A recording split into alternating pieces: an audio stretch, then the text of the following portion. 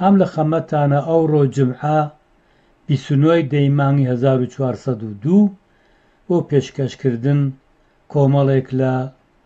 ڕوویدادهای جۆراوجۆر لە سەتحی کوردستان و ئێرانە ئەوەڵین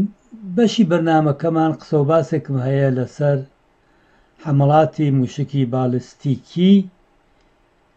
حکوومەتی تەبەکار و جەنایەتکاری ئیسلامی بۆ سەر کوردستانی عێراق واتە شاری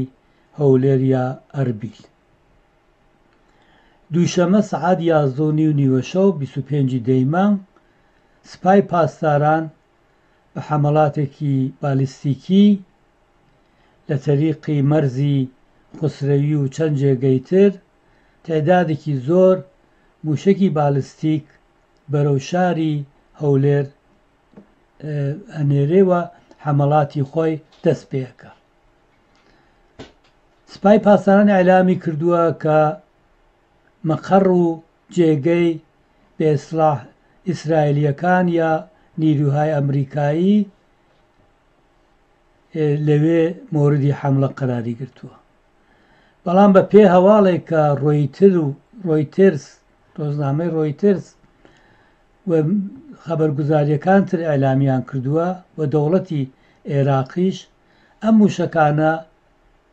نەکەوتووەتە هیچ جێگەیەک لە تەئسیسات و بارگا و مەقەڕی ئەمریکا یا ئیسرائیل، بەڵکو جێگە و مەکان و ژیانی کۆمەڵانی خەڵکی وەکو هەمیشە مۆردی هەدەف قەرار داوە و تەعدادێک بەداخەوە گیانیان لە دەستداوە و تەعدادێکیش بریندار بوون. ئێمە زمنی هاودەردی لەگەڵ خەڵکی هەولێر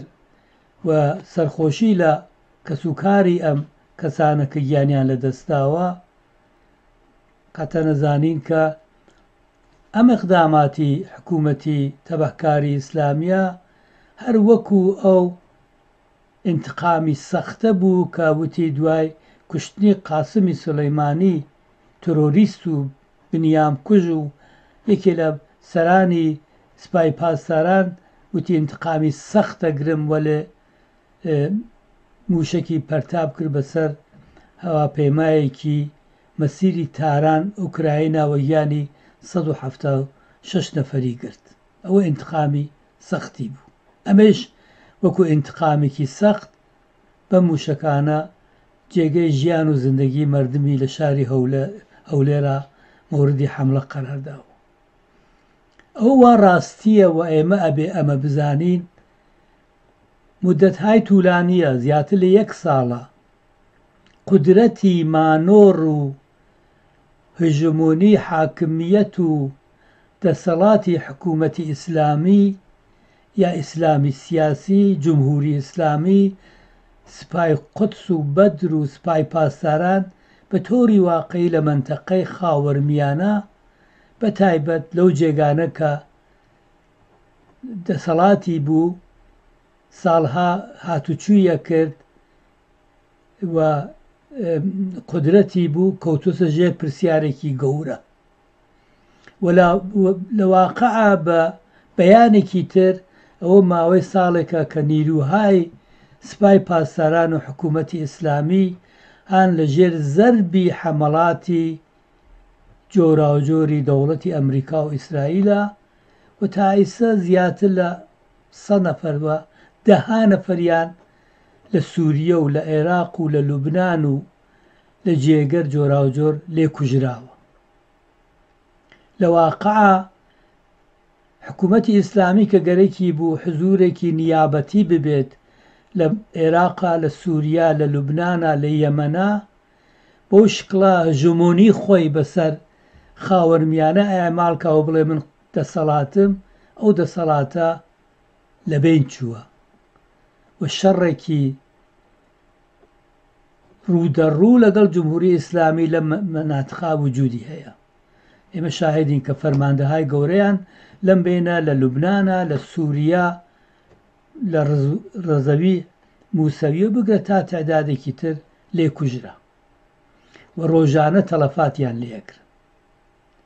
لە سوریە شکستێکی کامڵی خواردووە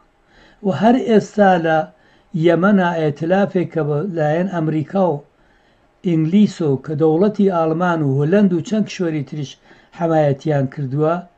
و حەملەیان کردووە بە حوسیەکان کە لەوێش جموری ئیسلامی نمایەندەگیە کرێت لە لایەن حوسیەکانەوە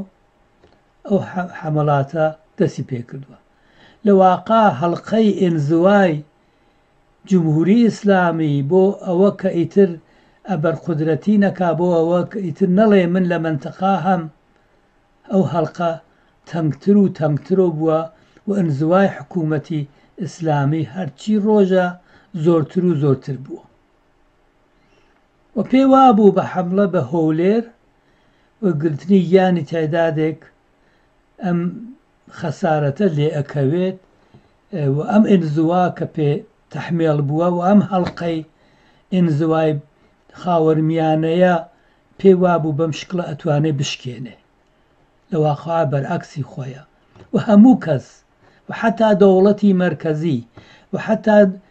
ئیقلیمی کوردستان دەوڵەت ئەم ئەحزابە وا لە ئیقلیمی کوردستانە هاوکاری ئەوەن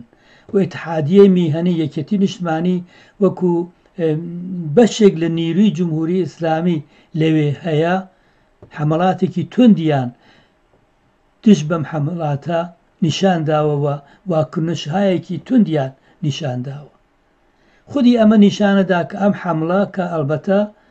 حەفتمین حەمەڵاتی جمهووری ئیسلامییە بۆ خاکی کوردستانی ئێراق نیشانە دا کە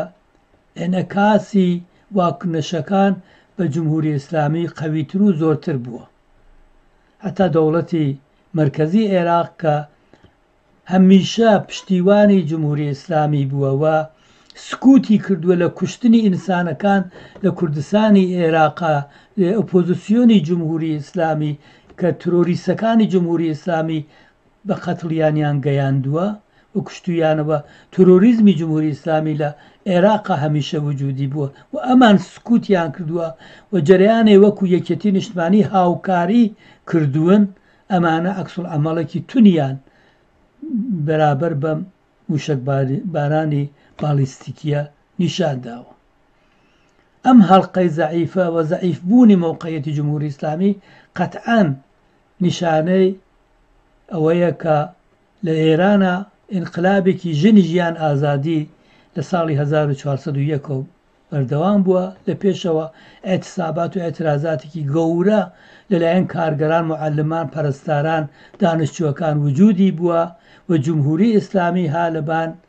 دەریایەک لە تەنەفر و بێ بێزاری لە لایەن کۆمەڵانی خەڵکۆ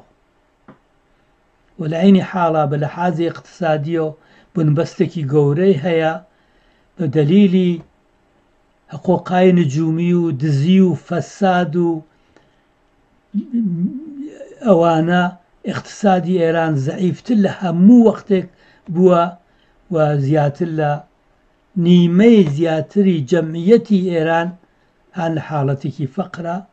و بە دەلیلی ئەم مۆقعیەتە ئیقتسادی و دزی و فەسادە بلەخەرە گیفانی نزیک دوو سە هەزار نەفەر لە دەوایری بەیتی رەهبەری و سپای پاسداران و مەجلس و دەوروبەری خامنەیی قاتڵ ئەمانە سەروەتمەند بوون و بە عنوانی ملیۆنەرها و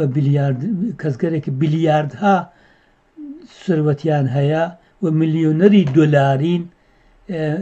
معرفی کراون. ئەم بۆمبەستی ئیقتسادیە و ئەم شەرایتی فەساد و ئیختلاسە وا وجودی هەیە لە لایەک و ئینزوایەک بلخەنە جمهوری ئیسلامی لە مەوقعیەتێکی زۆر زەعیفا قەرار داوە و ئەم حەمەڵاتیشە قەتعەن نەیتوانیوە کومەکێ بە دەرهاتن لەم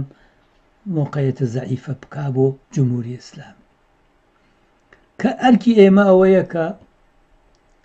ئەو دەستاوەردانە کە لە ئینقلابی ژن ژیان ئازادیە بەدەستمان هاوردووە ئەو جنبش عەزیمە کە دژ بە حەجاب دژ بە ناعەداڵەتی دژ بە ستەمکەشی تەبعیزی جنسیەتی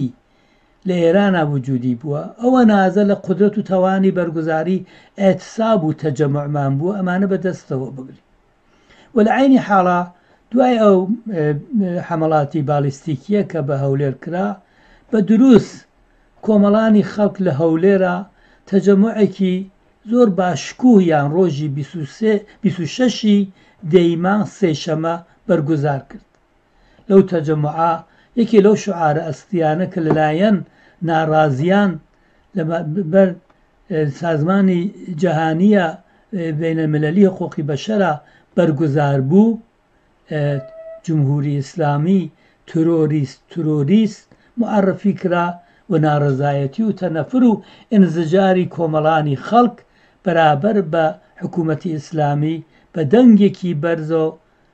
لە سەر شەقامەکانی هەولێر ئەبیسترا. پێشنیاری ئێمە هەروەکو ئێوەش ئەگەر لێ ئاگادار بن و بتوانن تەقوێتی کەن ئەوەیە کە کۆمەڵانی خەڵک لە شاری شارەکانی کوردستانی عێراقا ئەوە نازە لە ئاعتراز و تەنەفر کە لە جمهوری ئیسلامی ئەبەتە لە سەدحی سەراسەری ئێرانیشە وجودی هەیە تەبدیلکەن بە ناڕزایەتیهایەکی بەردەوام تا دەرپەڕاننی لانهای جاسوسی و ئەو ماڵانە و ئەو ئەمکاناتە و ئەو کونسولگەریانە کە حکوومەتی ئیسلامی لە کوردستانی ئێراقا بۆ کاروباری ترۆریستی خۆی بەنای کردووە و ئیتر هاوکاریهایە کە اتحادیە میتیانی یەکێتی نیشتمانی دەوڵ ئەقلیمی کوردستان ئەوانە لەگەڵ سپای پاسدارانە ئەیکەن ئەوانە تەواو ببێت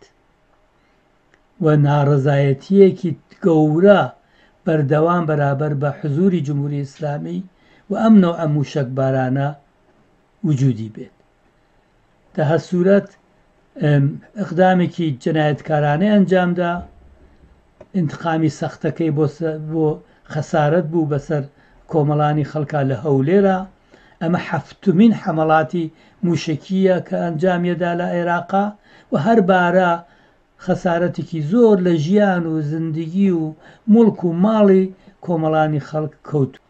لە ئێدامەی ئەو قسە و باسە لە سەر حەمەڵاتی بالیستیکی یا مووشەکی بالیستیکی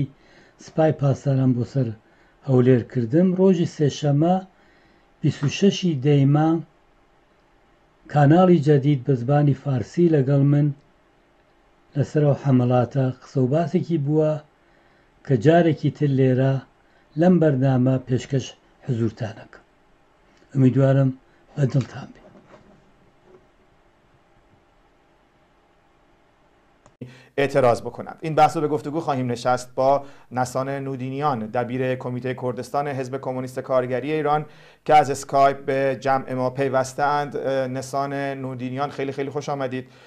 جمهوری اسلامی به نظر شما با حمله به کردستان عراق چه اهدافی رو دنبال میکنه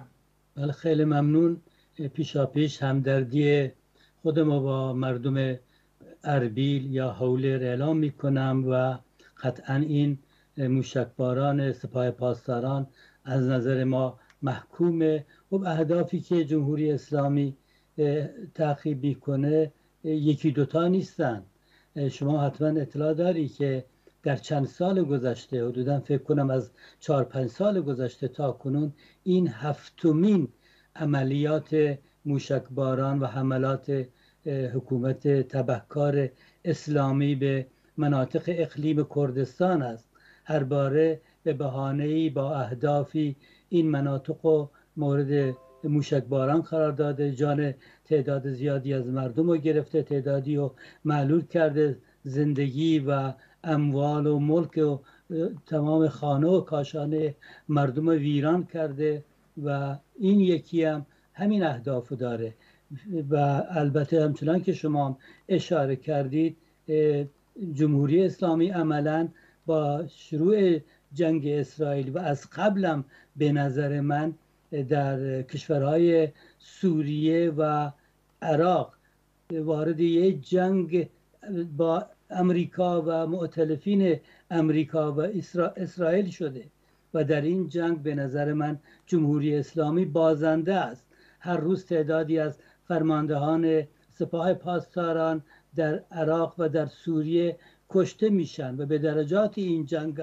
به مناطقی از مصر حزب الله لبنان که و مرز مشترک اسرائیل با لبنان کشیده شده این جنگی نیابتی که جمهوری اسلامی حضور داره در منطقه و امریکا و اسرائیل و اکنون هم حتما در جریان هستی اعتلاف دیگری تشکیل شده با حضور انگلیس و آلمان هم حمایت کرده بالاخره اهدافی دارن علیه انزوای بین المللی و فشار بیشتر به حکومت تبهکار اسلامی از هر لحاظ نظامی، سیاسی، دیپلماتیک در نتیجه این عملیات ها به این دلیل است دقیقا وقتی شما امروز به صحبت های حاجیزاده گوش میدید و میگه ما از 1300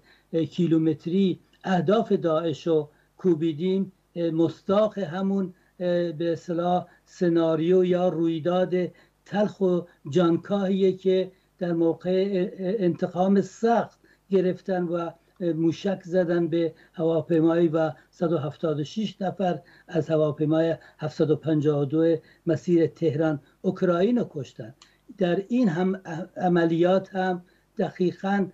اهداف امریکا نبوده رویترز امروز اعلام کرده که هیچ موشکی به کنسولگری و مناطق نظامی امریکا برخورد نکرده یکی از خبرگزاری های عراق میادین اعلام کرده که این موشک ها به مناطق دوروبر کنسولگری و مناطق مناطقی که مردم عادی اونجا زندگی کردن برخورد کرده که البته شما اعلام کردید دو نفر جانشون از دست دادن که از تجارهای صاحب نام اقلیم کردستان بودن در نتیجه اینا اهدافیه که بله. جمهوری اسلامی میخواد در این جنگ نیابتی علیه به طور واقعی دولت های منطقه که وارد این جنگ شدن با حکومت اسلامی و مدت هاست ادامه داره فکر میکنه این عملیات میتونه جواب داده بشه جوابی باشه از طرف جمهوری اسلامی و اون اعتبار و اتوریته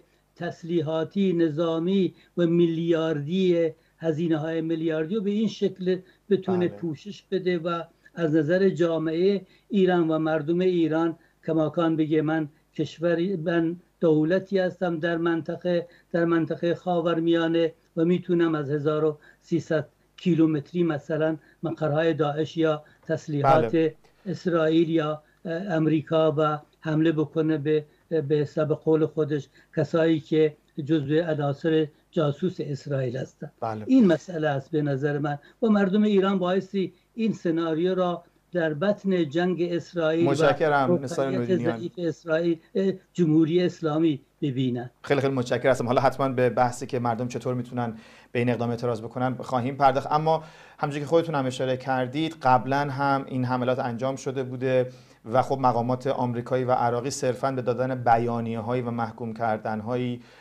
در حقیقت اکتفا کرده بودن این مار اما با توجه به مختصاتی که جنگ در غزه به وجود آورده و خب همونجوری که باز خودتون اشاره کردید حملاتی که به نیروهای نیابتی جمهوری اسلامی در منطقه شده فکر میکنید این حملات چه تبعاتی برای جمهوری اسلامی داشته باشه لطفا کوتاه که یک سال دیگه هم من آماده دارم که ازتون بپرسم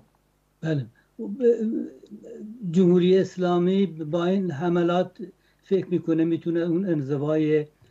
ای و خارج بشه که عمیقتر شده همچنان که دیدیم از رسانه ها ها و عکس هایی که تو سطح عراق حداقل داخل عراق به این مسئله شده هم اقلیم کردستان عراق بیانیه شدید و لحنی داده و گفتن اینا این شرمساریه برای جمهوری اسلامی و دولت مرکزی یک کمیته تحقیقیاب یا تحقیق کننده را درست کرده و از اونا خواسته که ظرف 48 ساعت تحقیق کنند و تهدید کردند و بعد از این تحقیقات اینو به به سازمان های بین المللی و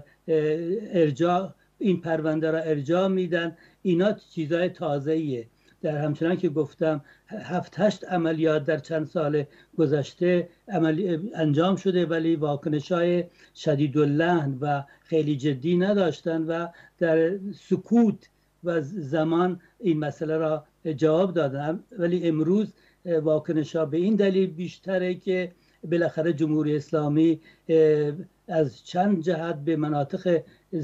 سکونتی مردم حمله کرده بله. همین که تو موقعیت کاملا ضعیفیه و اینا نمیخوان این موقعیت ضعیف و به حساب به نفع جمهوری اسلامی به حساب تغییر بدن بلکه میخوان شرایط و موقعیتی که جمهوری توش اسلامی توش قرار گرفته عمیقتر در در انزوا باشه به همین دلیل میگن این کار تروریستیه محکوم کردن گفتن شرمساریه برای حکومت اسلامی به نظر من لحنشون بهتر و تعرضی تر علیه جمهوری اسلامی شده خیلی ممنون ما به عنوان آخرین سال از شما همینطوری که در مقدمه هم اشاره شد و همکارانم هم تصاویری رو هم نشون دادند امروز در در حقیقت منطقه کردستان در عراق تظاهرات اعتراضی به این اقدام جنایتکارانه سپاه پاسداران انجام شده به نظر شما در ادامه حرکتی که امروز مردم انجام دادن مردم ایران و عراق به خصوص مردم ساکن منطقه کردستان چطور میتونن به این میلیتاریزم و آدمکشی جمهوری اسلامی اعتراض بکنن به نظر من تظاهرات امروز اقدام بسیار به نظر من انقلابی بود من همینجا درود میفرستم به مردم اربیل یا هولر که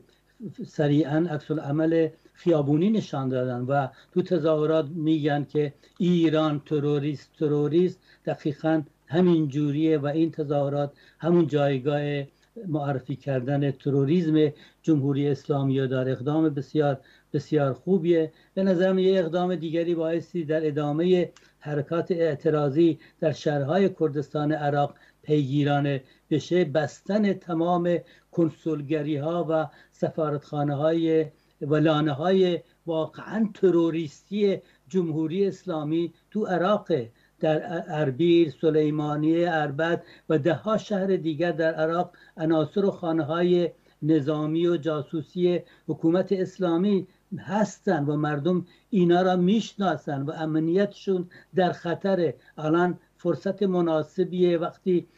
خیابون الان خروشان شده و اومدن و تروریزم جمهوری اسلامی و با این عملیات جنایتکارانه به مساف کشیدن به نظر من باعثی فشار بیارن تمام این کنسولگری و سفارت و خانه های جاسوسی و تروریستی حکومت اسلامی در کردستان عراق بسته بشه و اینا را به ایران برگردونن و این تنها کاریه که مردم کردستان عراق میتونن بله. در دفاع از زندگی خودشون که به طور واقعی آماج حملات موشکی جمهوری اسلامی بارها قرار گرفتن و در عین حال